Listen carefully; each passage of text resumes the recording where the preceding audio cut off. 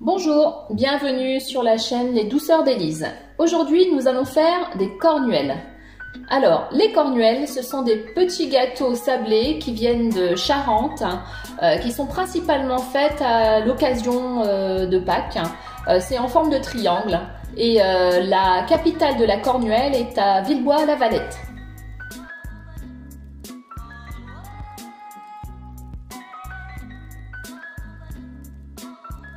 Alors, pour commencer, il nous faudra 750 g de farine, 300 g de sucre glace, 8 g de levure chimique, 450 g de beurre mou,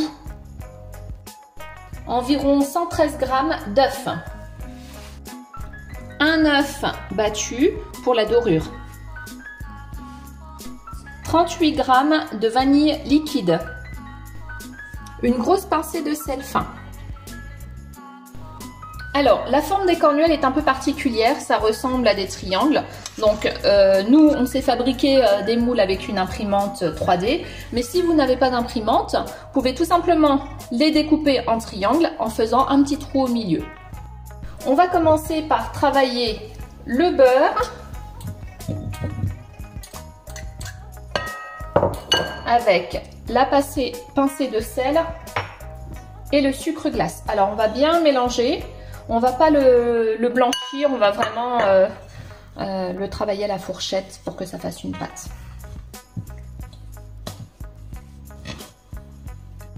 On va rajouter ensuite les 750 g de farine.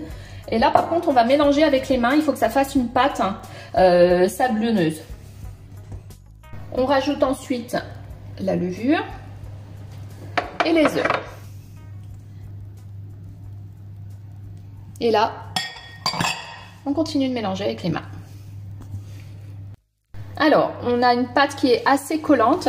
Donc, ce qu'on va faire, c'est qu'on va la mettre dans un film plastique qu'on va placer au réfrigérateur pour environ une heure. On commence par préchauffer le four en chaleur tournante à 190 degrés. Alors, on sort la pâte du réfrigérateur. Alors, je vais mettre un petit peu de farine là pour pouvoir ensuite étaler ma pâte. je la retire dans le film alimentaire que j'avais enroulé. Là. On voit, on a une bonne quantité de pâte quand même. Je vais en couper une partie juste pour pas tout faire euh, tout de suite. Donc, on badigeonne un petit peu de farine pour éviter que le rouleau à pâtisserie colle dessus. Et on étale.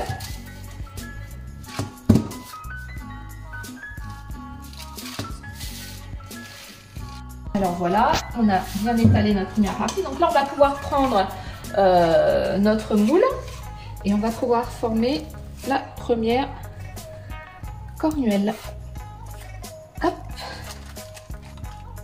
Voilà, on voit le petit rond de pâte qui s'est retiré. on fait attention en le retirant.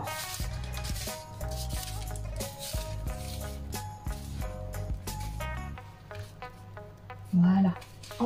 Alors, si vous n'avez pas de moule à cornuelle, vous pouvez prendre avec un couteau, soit vous formez directement un triangle et vous faites le petit rond au milieu. Pas de souci. Alors, hop, on va poser notre cornuelle et on va faire les autres.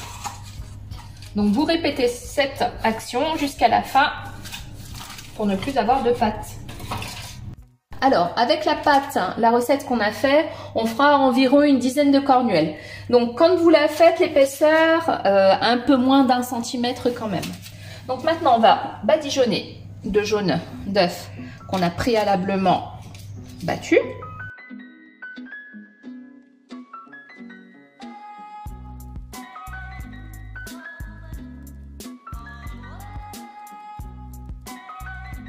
Alors moi, je fais quelques petits traits là sur le, bout.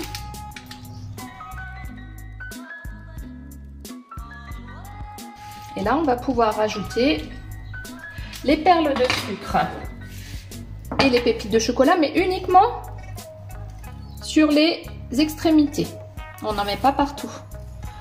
Normalement, comme je vous ai dit tout à l'heure, c'était les petites graines d'anis. Je refais de nouveau des petits traits, Et on peut enfourner pour environ 10-12 minutes. On vérifie bien que ça ne brûle pas.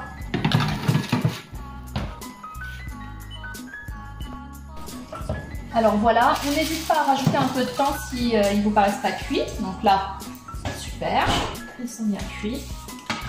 On les laisse bien refroidir euh, avant de les démouler. Donc n'hésitez pas à vous abonner euh, à ma chaîne, à liker la vidéo et à bientôt pour une prochaine recette.